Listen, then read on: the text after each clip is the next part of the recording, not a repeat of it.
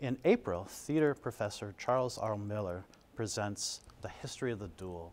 He will show us how, over the years, the duel has progressed, the formalities, the conventions. Some of his students will demonstrate duels on the stage. You don't want to miss this one.